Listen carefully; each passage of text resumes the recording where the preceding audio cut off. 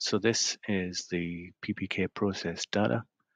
We're now going to change this. We're not going to use the download button because that doesn't include accuracy information. What we're going to do is scroll down to the very bottom and we've got various flight imagery and this includes not just northing and easting but also the RMS accuracy on the northeast and up. Um, we need this data for Pix4D.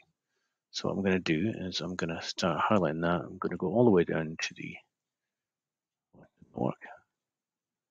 Yeah, it did. Did something a bit weird, but that's okay. Yep. Copy that data. And then we're going to go into Excel and we're going to paste that data. We're just going to have the data, not the formatting. Um, and now we'll mess around with this data a little bit, as you'll see in a second. But if I data filter, yep, and if I go down to the next row of data, there's bits and pieces I don't need in here. Um, and if I go down the very bottom, I think there's still a few bits more that I don't need. Okay, now unfortunately this uh, information comes to us with millimeters in it rather than uh, just numbers. So if I do a find and replace, I'm going to find that and replace it with nothing. Uh, options, I need to not match the entire contents. Uh -huh. Okay. Close.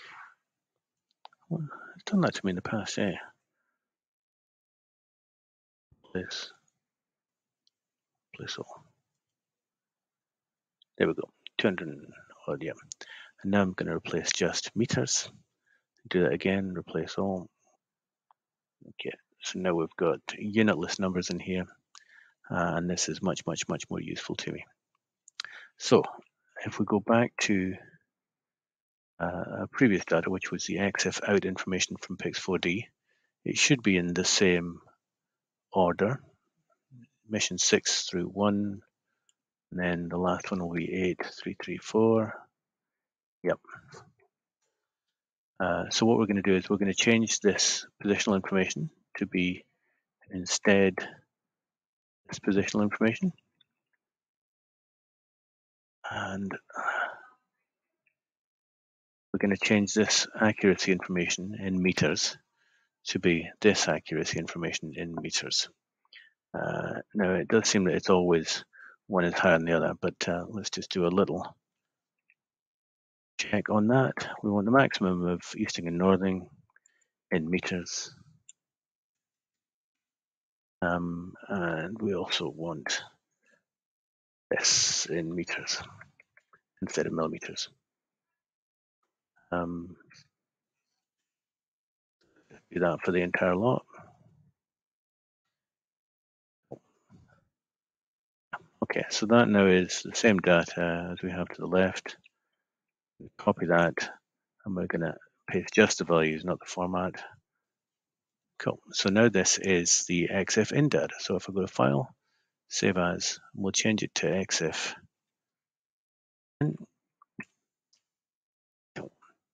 And then we go back to our Pix4D. And now instead of going to File, we're going to go from File. We're going to go and find, now I'm never sure if it's XYZ or YXZ. We'll find out in a second. Um, and I'm going to go Pix4D in. Uh, we may have to do this and reverse these numbers if it comes up in a funky location. Now all of these should now have, yeah, they've got the accuracy, which is very accurate, and the different XYZ. And if I hit next on this, we'll get an option here briefly to look at, yep, this is the same coordinate system that we want our output to be in. Um, if I hit next on this, we'll soon find out whether or not I need to go back and redo that with a different positional shift, either X or Y. I can never remember which way around. Uh, we'll arbitrarily choose one of these, but we're going to change the settings on it. Finish and where am I? Oh, I'm in the right location. Excellent. So that's a good example of that, and I'll stop recording there.